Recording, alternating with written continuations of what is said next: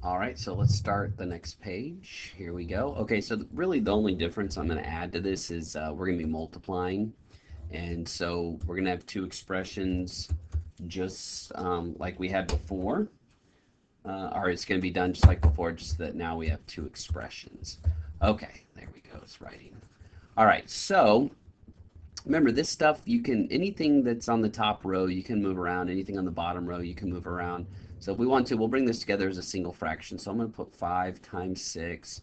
And then I'm going to go ahead and it's fine. I can consolidate my variables. That's not a big deal. So p to the fourth. And then I do have a q to the fourth. So I went ahead and consolidated. I left the 5 and the 4 separate. I'm sorry, the 5 and the 6. Um, I, I could have gotten 30 if I wanted to, but you'll see why I left that in just a second. So now I'm going to put the 12 and the 20 right here. And then let's see, I have a p here. I don't have any other, so I just have a p. Um, and then let's see, three q's and then two. So this can give me q to the power of five. Okay. So what I want to do here is see if I can reduce with any of this stuff here. Um, and remember, you don't have to go right above. You can go diagonal. It's fine. So you'll notice we got a 5 and a 20. So I'll go ahead and reduce those both by a factor of 5. Okay. Then let's see, what do we have next? The 6 and the 12. The 6 would reduce to a 1 and the 12 to a 2. Okay. So what that leaves us with is 1 times 1 is 1. So I'm left with a 1 on top. And then um, I'll, I'll take care of the variables in the next step so we don't chew off too much. Um, there we go. And then so on bottom, I'm going to be left with 2 times 4, which is 8. Okay. And then I've got the p and I've got the q to the fifth power. And so, like I said, you're probably getting better at simplifying your uh, variables, okay?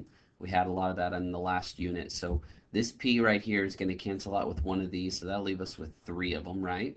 And then all four of these are going to cancel out with four of those. So that just that whole thing just cancels out. That'll leave us with just a 1q left, okay? So let me clean this up. So the final thing we're going to have here is a p to the third.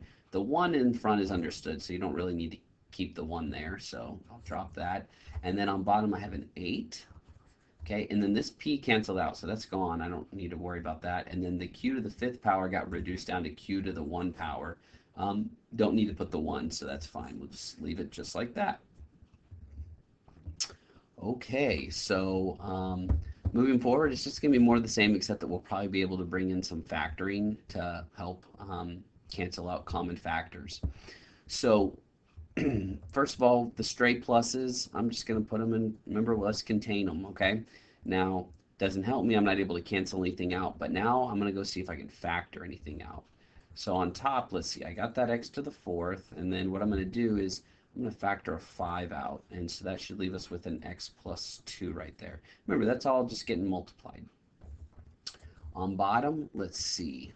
So I've got a 5x to the 7th, so I'm going to put 5 times x to the 7th, and then times, let's see, I can factor out a 3 from there, so I'll go ahead and do that. And so 3 times x plus 2, okay? All right, so now it's time to start canceling things out. So I notice um, I got fives that basically they, they cancel out to ones. You, you, know, they're basically they're gone. We don't need to worry about them. Okay. Um, you got an x to the fourth over uh, x to the seventh. So these four will cancel out with four of those and leave you with just three of them. So you've got x to the third right there. Um, and you can actually cancel out the x uh, the x 2's now because yes the, the addition is contained within parentheses and they're identical so I can go ahead and cancel them out I'm going to switch colors just so we can see how this all coordinates and so what happens is all this stuff on top basically reduced down to ones even this one right here this this basically turns into just a one not x to the one power but just a the number one so what you're left with on top you don't want to you want to be careful here. 1 times 1 times 1. So you do actually still have a fraction. A lot of times students just write the denominator as their answer. So you got to be careful. Now on bottom, let's see, what do we have left? So the 5 turned to a 1. 1 times, here we got an x to the third power. And then you have a times 3. It's probably going to look nicer if I put the 3 first and then put the x to the third power. It just looks a little bit nicer. Those were the only things that um, didn't completely cancel out on bottom. Everything else reduced down to a 1. And that's our answer. There you go. Okay, moving right along. Um, so this one, let's see, we got a lot of, let's see, we got x squared minus 16, we got x squared minus 4, uh, we got x squared minus x minus 12. So we've got three things that are going to be factorable. And then you got that x squared right there that we'll bring along for the ride. Okay, so let's see what's going on here. So I have the difference of two squares again right here. So this should give me x plus 4, x minus 4. Okay, done with that part. And once again, we can write this as a single fraction. So when you're multiplying across, it's fine. Just bring it all together as 1. Um, here we can factor, looks like an x only. So let's see, we'll go ahead and pull out an x, and that'll leave us with an x minus 4. So x minus 4. All right, on bottom, got that x squared, don't want to forget about that. So I got the x squared times, and then we can break this into two factors. There's an understood one right there. So what multiplies to give us negative 12, add up to negative 1. So that should factor into x minus 4, x plus 3. Okay, the factoring's done, so now it's time to start canceling stuff out. So I'll move up a little bit. Here we go. Uh, so let's see, um, x minus 4. So it doesn't matter. Pick your poison. It doesn't really matter. Um, so we'll cancel those out right there. They basically turn into 1s. That's fine. Um, and then you'll notice actually you actually have an x squared and an x. So this x right here can cancel out with uh, one of those x's to leave you with just 1. And I don't see anything else that can cancel. So now you just want to be careful uh, when we write our final answer here.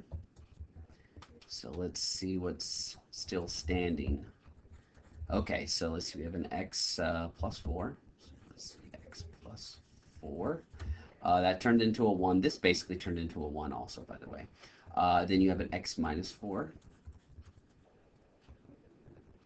Okay. And then on bottom, let's see, you've got an x to the 1 power, so we'll just put x there. Um, and that reduced out. And then let's see, then here we're going to have an x plus 3. And you don't want to multiply this stuff back together, okay? You want to leave it, you want to leave it factored um, so that when you look at it, we know that it's simplified completely. There's not really anything, or there isn't anything else that can uh, get canceled out. So we're just going to leave it just like that. Okay.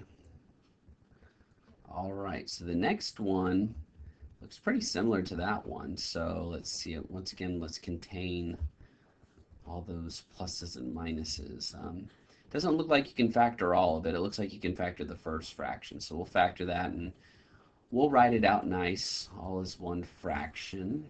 Okay. So the first one, difference of two squares again. So y plus 4, y minus 4. Uh, y plus 3 can't do anything about that, so we'll just leave it as a y plus 3. Uh, on bottom, let's see, we can pull out a 2 to get started, so that'll leave us with a y plus 3. And then we have a y minus 4 right there.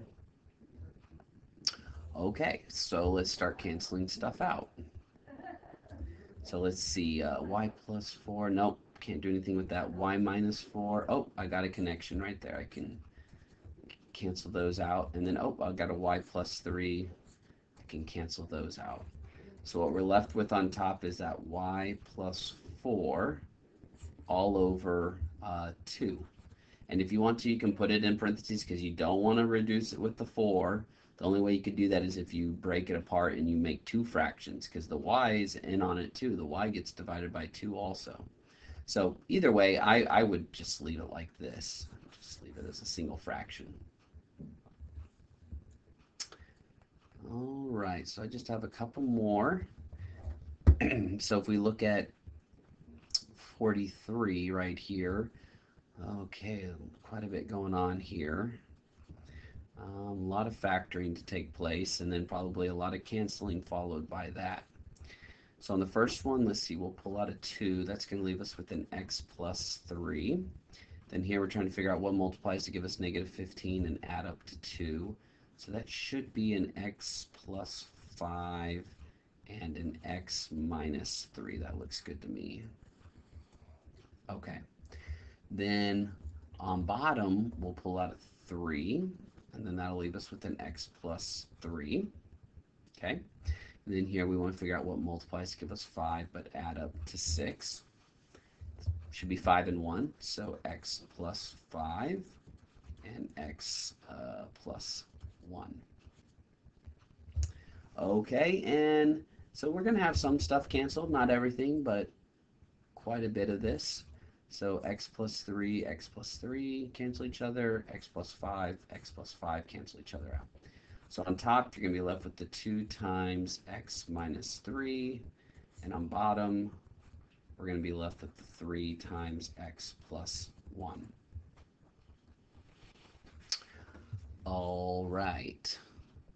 So moving on. All right, last one on this page. Um, really just more the same. You'll notice we are going to have one little thing that's going to kind of throw a wrench in the process. And it's not a big deal, but it's something you got to watch for.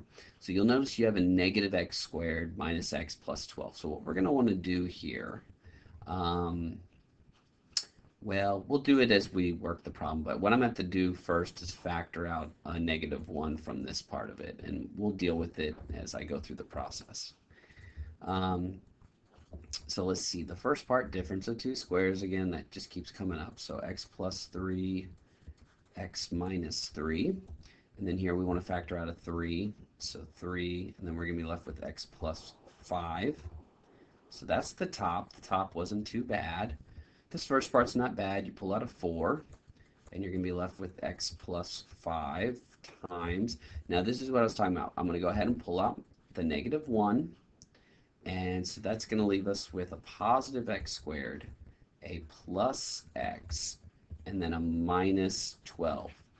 And so um, I'm going to need to factor this further right here. I'm going to need to factor this further. Um, but before I do that, I'm gonna I'm gonna kind of rewrite this and clean it up. I can go ahead and um, I know there's a negative right there. It's not a minus though, so it's okay. It's not a stray. Okay. Um, what I can do here, um, I can go ahead and start canceling out some stuff if I'd like, just to kind of get it out of the way, and then I can deal with factoring this. So I'll go ahead and do that. So I'm going to cancel these out. So those basically just turn into ones, okay? So what I'm left with on top, what I'm going to do is I'm going to rewrite, the, I'm going to put the 3 in front. It just looks nicer. So then I've got x plus 3, x minus 3. Okay. Then what I'm going to do is I'm going to go ahead and multiply this 4 and negative 1 together. So that gives me a negative 4. Okay. But now I need to factor this. Okay, so I want to factor this. Okay, and put it right here. Um, so the factoring is easy. What multiplies to give me negative 12, but add up to 1. So it should be an x plus 4 and an x minus 3. So that's the factors for that. Okay, so really just to kind of retrace our steps. What happened is I had to factor out a negative 1, and all I did was basically multiply that negative 1 by the constant over here. So 4 times negative 1, so I just kind of, that negative got put with the 4 right there. Um, and so now I can cancel out the x minus 3's, okay? And so really all we're going to be left with is 3 times x plus 3 all over negative 4 times x plus 4. And don't start trying to cancel out the x's or the 3 or just, yeah. So if it's in parentheses, it's either all or nothing. So anyways, um, that's our answer. Okay, so once again, I'll press stop and I'll start a new video for the next slide.